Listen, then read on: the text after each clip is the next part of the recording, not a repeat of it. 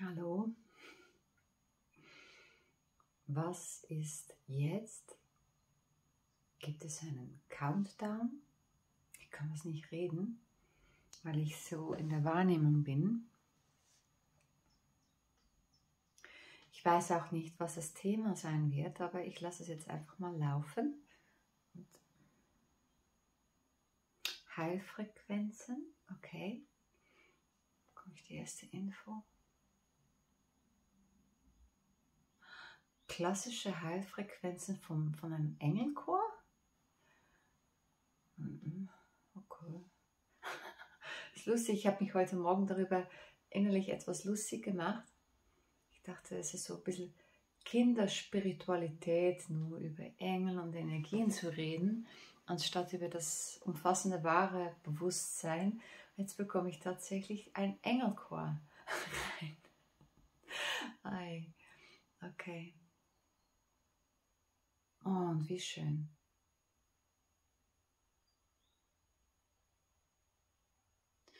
Das fühlt sich an wie Abgesandte.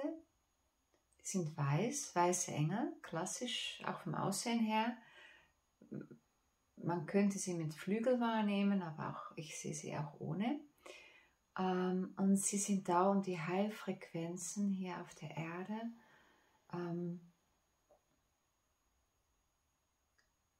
bei den Menschen zu fluten oder einzubringen. Und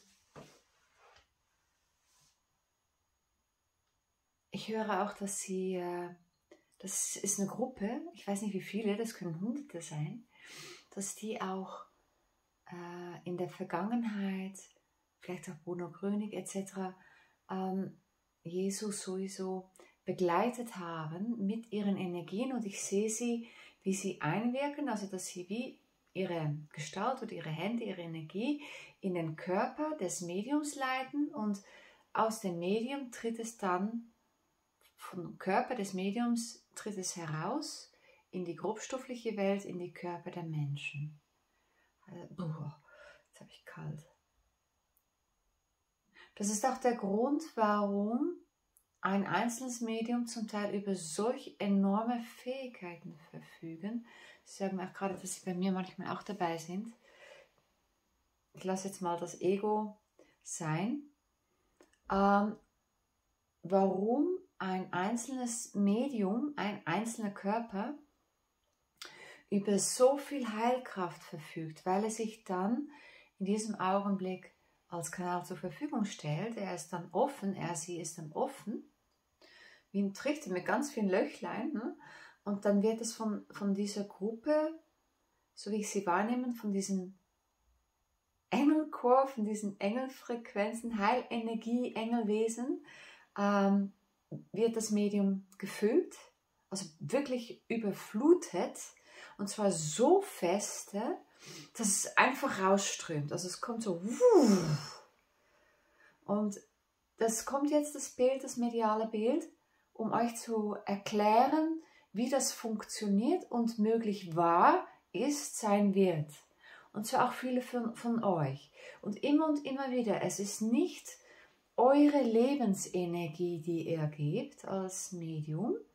Ja, es kann sein, dass wenn du Mama bist oder hast ein Tierchen bei dir oder dass da mal ein bisschen von deiner Energie kommt, aber vor allem wenn du mit mehreren Menschen wirkst oder es eine größere Dosis Energie, Heilenergie braucht, dann kommen einzelne oder wirklich hunderte von diesen wunderschönen Wesen, die ich vorher nie wahrgenommen habe, zu dir und überfluten dein ganzes System. Also ich sehe dich dann oder das Medium dann in Zukunft komplett weiß, völlig überflutet und das tritt dann aus dem Körper heraus zu den Leuten oder dorthin, wo es ist.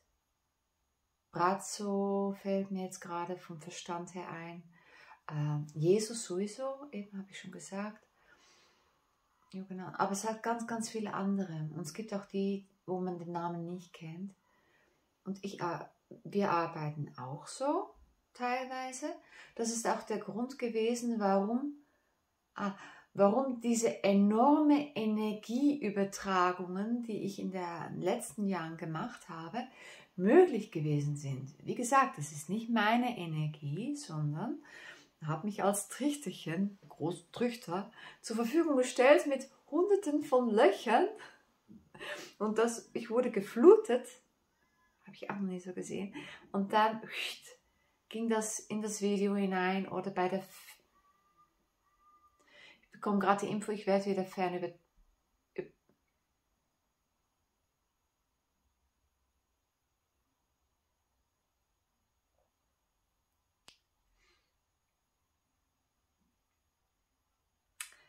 Ja, das berührt mich jetzt. Hab jetzt gerade gehört, dass äh, ich wieder Fernübertragung machen darf. Ich habe das ja auch geliebt. Ich hatte ein bisschen mm, Angst, menschliche Angst davor, ob ich leer bin und ich war auch leer, weil sie mich nicht gefühlt haben, haben sie gesagt, weil ich äh, mit äh, persönlichen Prozessen unterwegs war. Aber ich darf das wieder machen in Zukunft. Aber dann, wenn sie es sagen, also wenn ich wirklich den Impuls bekomme und nicht, weil ich denke, denke, ja, es ist eine Woche vorbei und jetzt sollte ich. Das heißt, es kommt dann, wann der Auftrag kommt. Ja? Auch bei Live-Veranstaltungen, ich darf, soll auch wieder vereinzelte Live-Events geben. Jetzt habe ich ein Katzenhaar im Auge, toll. Habe auch die ganze Zeit das Gefühl, dass es dieses Jahr eine Live-Veranstaltung gibt. Würde es aber gerne in der Schweiz machen, vielleicht wieder in Solothurn. Ähm, da ich äh, Telegram und Facebook gelöscht habe, mache ich das hier publik und mache den Termin dann unter dem Video, wenn es einen Termin gibt.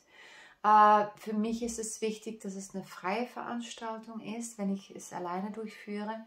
Und dass es dann auf, du kannst dann geben, was du möchtest für die Raummiete oder was es dir wert ist. Aber ich möchte es einfach frei rausgeben. Ist, ich arbeite, Anführungszeichen, so am liebsten.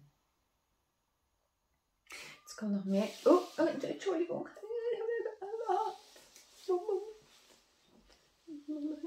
Die Pflanze geht's gut. Die war nur lange in der Obhut meiner Töchter, ein bisschen auf, am Aufpeppen. Ich habe hier langsam Dschungel. Hier, das ist nicht mein Schlafzimmer, sondern ich nenne das mein Tiny House Zimmer, mein Zimmer, wo ich die meiste Zeit des Tages verbringe, wenn ich nicht draußen bin. Ähm, Sie möchten, dass ich da noch weiter erzähle über die Heilenergien, wie die dann wirken. Gibt es ein. Okay.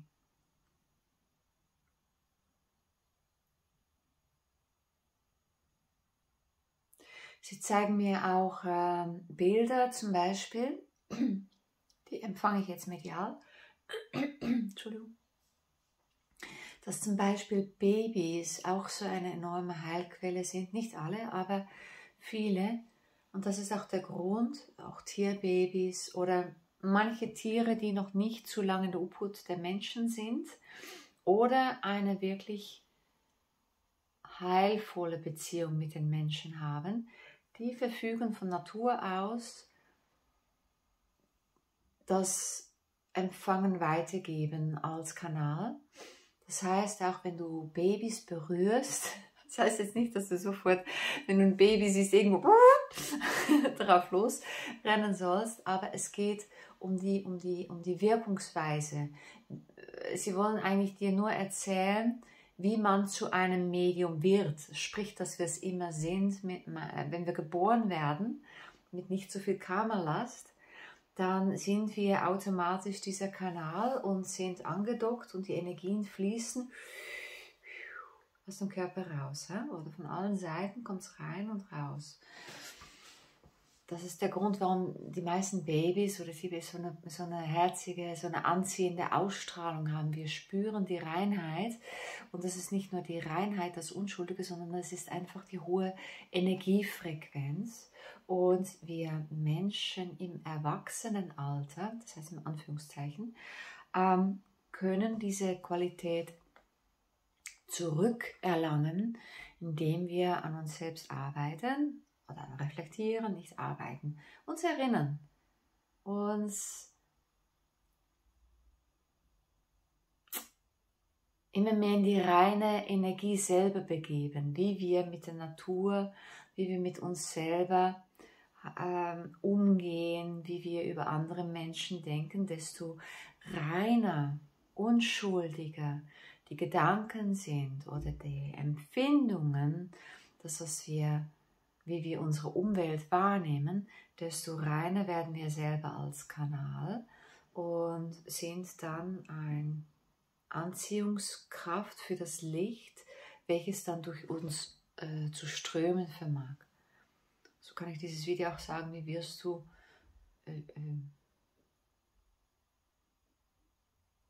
ein Heilmedium. Ah, ja, egal.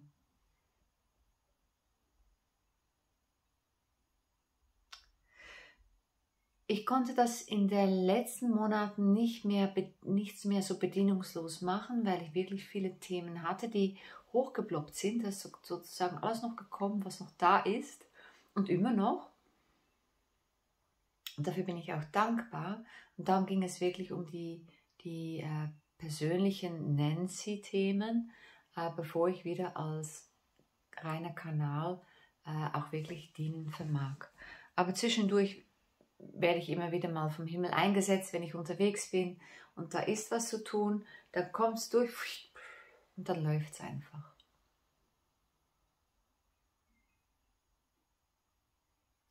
Sie zeigen mir nochmal wirklich sehr, sehr schön, wie das ist mit einem Heilmedium, der für das Ganze wirkt. Da kommen alle Energien. Übrigens auch mit äh, kodiertem Wissen. Es ist nicht nur Heilenergie für den Körper, sondern es hat, ich sehe auch so Lichtbuchstaben, die dann durchfließen äh, und diese bewirken dann eine Öffnung im Bewusstsein des Menschen. Das heißt, es ist nicht nur für die körperliche Heilung, weil körperliche Heilung wird ja nur benötigt, in Anführungszeichen, wenn wir mit unserem Bewusstsein nicht offen sind, weil sonst bräuchten wir ja keine körperliche Heilung. Und diese Lichtcodes mit Informationen gehen wirklich ins in den Kopf, in das Gehirn hinein und verändern dann auch unser Bewusstsein oder die Öffnung hier, dass äh, wir in Zukunft dann ähm, unseres göttlichen Selbstes mehr erinnern können oder mehr erleben dürfen können.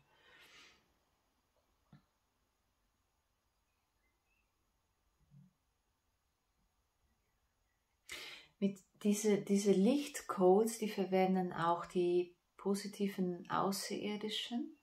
Und Leute, akzeptiert bitte diese Normalität der außerirdischen Brüder und Schwestern in diesem Leben. Ja? Es ist nichts Ungewöhnliches. Nochmal, der Kontakt mit ihnen ist genauso selbstverständlich wie mit den Pflanzen, mit den Tieren, mit den Bergen, mit anderen sogenannten Menschen, die meistens keine sind, akzeptiert die Normalität. Dann ist es nichts Besonderes, sondern dann können wir wirklich gemeinsam telepathisch und auch physisch immer mehr miteinander äh, Kontakt treten und es gibt einen herrlichen, wunderschönen Austausch. Also immer und immer wieder es ist eine Normalität für diejenigen, die sich noch nie mit Aliens etc. befasst haben. Also hallo, denkt sie wirklich, wir sind die Einzigen? Und nur weil im physischen Bereich wir das Gefühl haben, das stimmt nämlich auch nicht, dass wir noch nicht zu anderen Planeten reisen konnten aufgrund der Technologie, heißt das nicht, dass andere auch noch nicht so weit sind. Also geht nicht vom Bewusstseinszustand der Menschen jetzt aus, sondern macht mal einen Perspektivenwechsel und schaut und öffnet euch für die Möglichkeiten. Dann begrenzt ihr euch selber nicht mehr so quasi, wie soll das möglich sein, wieso zeigen sie sich nicht äh, und so weiter. Ist ja klar, dass sie sich nicht zeigen, wenn, wenn, äh, wenn die Offenheit fehlt. Warum zeigen sich die Wildtiere uns nicht? Weil wir sie abknallen, Leute, weil wir sie erschießen. Warum sollen sich die Wildtiere dann zeigen? Sie kommen erst nach vorne in einer unmittelbaren Zukunft, wenn das Bewusstsein dorthin sich geöffnet hat, dass wir in friedlicher Koexistenz mit allen Lebewesen leben, ohne sie gleich abzuknallen, weil sie in unser Revier kommen oder ähm, unser Acker das Korn wegfressen und die Erde gehört ja allen. Also ja, gut. Etwas direktere Worte jetzt mal. Ich glaube, das war es jetzt. Ja, also sozusagen Verständnis zusammenfassend, äh, wie wirst du ein Heiler-Medium für Heilenergien, Kanal? Wie funktioniert das?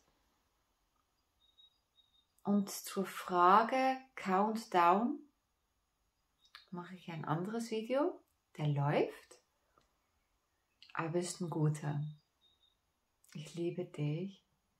Und wenn es ähm, Energieübertragungen gibt, Live-Energieübertragung, entweder per Video, weiß nicht, ob ich das mache, oder eben per Fern-Energieübertragung mit Datum, mit Zeit, dann teile ich das unter den Videos mit, sowie auch Live-Events. Vielleicht mögt ihr mir schreiben, ob ihr da auch wieder Interesse habt. In ähnliche Form wie das in Solothurn, was ich letztes Jahr gemacht habe mit meiner lieben Lichtschwester Angeliki Kodalis. Angelike Kodalis. Und habe jetzt neue Leute getroffen und die könnte ich dann auch dazu einladen zum Tagesevent. Gut. Viel Freude euch. Ich liebe dich. Und nächstes Wochenende oder dieses Wochenende ist die Gesundheitsmesse der Unitanis in Solothurn. Da gucke ich eventuell auch noch vorbei, weil dann die Sonja dort ist, Anja, Sonja von Staden, die Angelique ist dort und viele andere. Und da gehe ich einfach mal ein bisschen schnuppern. Okay? Bye bye.